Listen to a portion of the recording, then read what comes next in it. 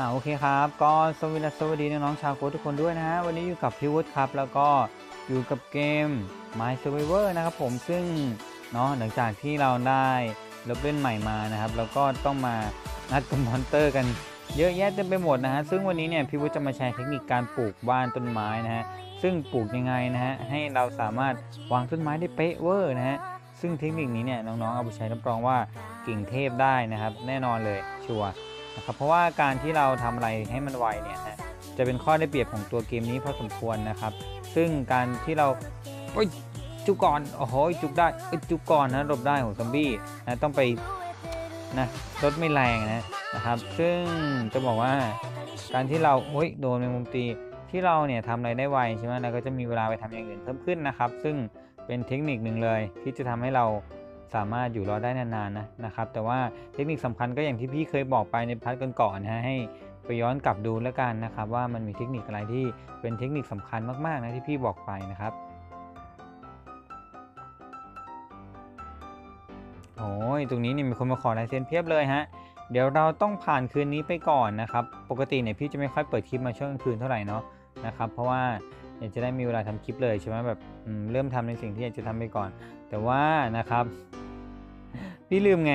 พี่ลืมพี่ลืมว่าเออเนี่ยเล่นมาค้างไว้จนมันจะมืดแล้วนะอะไรเงี้ยลืมครับ ลืมตัวจนะลืมตัวนะครับ แต่ว่าหัวกับแขนกับขาไปไงนะครับเดี๋ยวรอเช้ากันนิดนึงฮะจุก monster ไปก่อนนะครับ monster จุกโอ้ยเดี๋ยวเดี๋ยวอันนี้ไม่ได้โอ้โหยโอ้ยไม่ได้นะ อันนี้อันตรายมากนะครับ ซึ่ง ดีไม่ดีนะครับ ดีไม่ดีอ่าซีรีส์นี้เนี่ยพี่อาจจะตี คนป่าแบบตีสดเลยก็ได้นะ ตีสดโดยที่ไม่ต้องเอาป้อมมาตั้งอะจะโหดไปปะวะ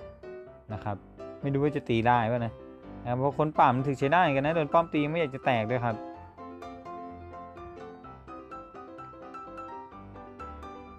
โอเคเช้าแล้วครับเนาะสิ่งที่เราต้องโฟกัสเลยก็คือต้นไม้นะฮะตัดต้นไม้เป็นสิ่งที่ดีนะนะครับโอเคเดี๋ยวกลับบ้านไปเติมเลือดก่อนนะเลือดค่อนข้างหายไปเยอะเลยทีเดียว นะครับ เกิดจากไอ้มอนเตอร์พวกนี้แหละนะมาสู้กับผม ผมไม่สู้ ผมขี้เกียจสู้เสียเวลาเนี่ยนะครับ โอเค ซึ่งตรงนี้เนี่ยโหหินพี่เยอะมากจริง เดี๋ยวต้องเอาไปขายบ้างฮะกลับบ้านก่อนนะครับ เจอฐานก็ขุดฐานไปด้วยเพราะว่าแมปมันยังเปิดไม่หมดเนาะนะครับ เพราะว่าแมปก่อนเนี่ยพี่ เพิ่มโอ้ยลิ้นพันนะพี่เปิดแมปหมดไปแล้วนะแมปนี้ก็ยังเปิดไม่หมดนะ ซึ่งน้องๆเห็นไหมว่านะต้นไม้เนี่ยนะครับมันจะมีการตายเกิดขึ้นนะซึ่งการตายพวกนี้เนี่ยเวลาที่เรามาปลูกใหม่มันค่อนข้างลำบากมันมองไม่เห็นนะครับเพราะว่าต้นไม้มันบางกันเองใช่ป่ะนะครับวันนี้ก็เลยจะมาใช้เทคนิคตรงนี้นะฮะวันเดี๋ยวซ่อมของก่อน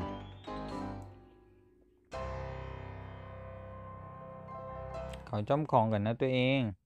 นะครับโอเคมีของ มีที่เก็บของหรือยังยังไม่มีที่เก็บของเลยนะนะครับขอที่เก็บของอันนึงโอเคสวยแล้วครับได้ที่เก็บของมานะเดี๋ยว เดี๋ยวเดี๋ยวเดี๋ยวทุบออกก่อนได้ไหมทั้งโอเคฮะทุบทั้งออกแล้วก็เอาที่เก็บของใส่เข้าไปครับป้อมพี่ยังมีแค่สองป้อมอยู่นะเอาพวกพวกแร่พวกสโตนใส่ไปก่อนเพราะว่ามันไม่ได้ใช้ไง เก็บไว้ก็ลกนะฮะอ๋อเปลดคล่คล่ก่อนอโอเคขี้แล้วฮะ เรามี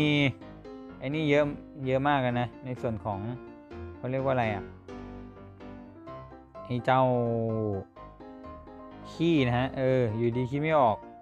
นะ ที่เหลือก็คือ โอ้โห ไดมอนด์อยู่หน้าบ้านเลยฮะ ที่เหลือก็คือต้นไม้นะฮะ ต้นไม้เรามีอยู่ประมาณ 15 ต้นนะครับ 15 ต้นเนี่ยก็น่าจะซ่อมแซม เดี๋ยวซ่อมแซมก่อนนะฮะ ซึ่งเทคนิคนี้นะฮะก็คือการปรับเปลี่ยนมุมกล้องนะครับ ซึ่งน้องๆ เนี่ยคือมันเป็นอัปเดตใหม่ของเกมเนี่ยนะครับ เวลาปรับเปลี่ยนมุมกล้องเนี่ยมันจะทำให้เราฟาร์มง่ายขึ้นอย่างนี้นะไม่ได้ฟาร์มง่ายขึ้นแต่หมายถึงเราซ่อมแซมง่ายขึ้น เพราะว่าเรามองจากมุมสูงฮะทำให้เราเห็นในส่วนที่มันขาดหายไปด้วยนะนะครับ เพราะว่าถ้าเรามองจากมุมปกติเนี่ยต้นไม้มันจะบังนะเทคนิคนี้เนี่ยนะครับ เป็นเทคนิคพื้นฐานเลยนะครับ ที่น้องๆสมควรจะเอาไปใช้กันนะครับโอเค ใส่เข้าไปอย่างนี้ฝั่งนู้นมีครับ แล้วก็ธนุบำรุงไปก่อนนะ ซึ่งมีน้องๆถามเข้ามาครับ พี่วุฒิครับเราสามารถาทำยังไง หรือว่าไม่ได้สามารถเด็เราจะทำยังไงนะครับ ไม่ให้ในส่วนของแมลงมันกินต้นไม้ครับ พี่อยากจะบอกว่ามันไม่น่าจะมีวิธีหรอกนะฮะอะเจอเจอของดีฮะ เยนโดสโตนนะมันไม่น่าจะมีวิธีนะครับให้เรารักษาต้นไม้ไว้ได้เลยนะนะครับพี่ไม่ไม่ไม่รู้มาก่อนเลยครับว่ามันมีวิธีแบบนี้นะนะครับ ซึ่งถ้าใครเล่นแล้วมีวิธีนะบอกด้วยนะ เห็นแต่ก่อนนี่มีบอกเอากองไฟพี่เอากองไฟนะครับเอากองไฟไปปลูกอ่าไปปลูกทุยฮะไปอ่าใส่ไว้นะครับ ในส่วนของข้างๆ ต้นไม้นะเอาไปปลูกเอาไปก่อไว้ใกล้ๆเนี่ยมันจะทำให้อ่าแมลงไม่มากินนะพี่อยากจะบอกว่า มันไม่ช่วยมั้งนะครับ มันไม่น่าจะช่วยมั้งเพราะว่า เพราะว่าเขาเรียกว่าอะไรอะตอนที่เราเข้าไปโหมดสร้างสรรค์ใช่ไหมถ้าน้องๆเห็นเนี่ยมันจะมีการปรับลดเพิ่มในส่วนของอการให้ต้นไม้เนี่ยให้แมลงเนี่ยมากินต้นไม้เราไวขึ้นช้าลงนะครับอะไรเงี้ยก็มีการปรับแต่งเนาะฉะนั้นมันไม่น่าจะเกี่ยวกับโอ้โหเจอยูโรสตัวเนี้ยมันไม่น่าจะเกี่ยวกับการที่เรา ไปเอากองไฟก่อไว้ข้างๆอะไรเงี้ยไม่น่าจะเกี่ยวนะโดยส่วนตัวคิดว่าไม่เกี่ยวนะฮะนะครับหรือว่ามันเกี่ยวประการใดหรือพี่พลาดตัวไหนไปขอโทษด้วยแล้วกันนะครับผมเนาะแล้วก็นะครับใครที่เป็นสาวกไมครับเนี่ยช่วงนี้พี่ลงให้รัวๆเลยนะแล้วพี่ก็อยากจะเล่นด้วยฮะเดี๋ยวพี่จะลงคลิปไมครับให้นะครับ ซึ่งเป็นคลิปการทำอ่าโรงเผานะหรือว่าเขาเรียกว่าอะไรอะเออที่เกี่ยวกับที่เผาแหละนะ คิดชื่อไม่ออกเว้ยนะฮะนะครับ เป็นไรเนี่ยวันนี้คิดชื่อไม่ออก เออพูดไม่ออกเนี่ยโอ้ยโดนนะครับซึ่งน้องๆเนี่ยดูคลิปนี้ก็น่าจะได้เทคนิคการปลูกบ้านต้นไม้ไปแล้วนะในส่วนหนึ่งนะพอสมควรเลยนะครับซึ่งก็ไม่น่าจะให้มายาวไปกว่านี้แล้วแหละเนาะเพราะว่าวันนี้ก็มาแชร์เทคนิคเท่านี้จริงๆนะถ้าจะแชร์เยอะกว่านี้เนี่ยเดี๋ยวคลิปต่อไปไม่มีแชร์ จริง ๆ คิดไม่ทันนะครับคิดไม่ทันว่ากูจะแชร์อะไรดีวะ นั้นจะเอาเทคนิคอะไรมา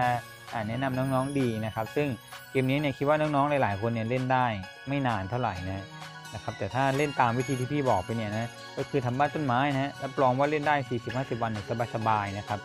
นะแต่ว่าจะต้องใช้ความพยายามในการตัดต้นไม้หน่อยนะครับเนาะโอเคนะครับ เดี๋ยวยังไง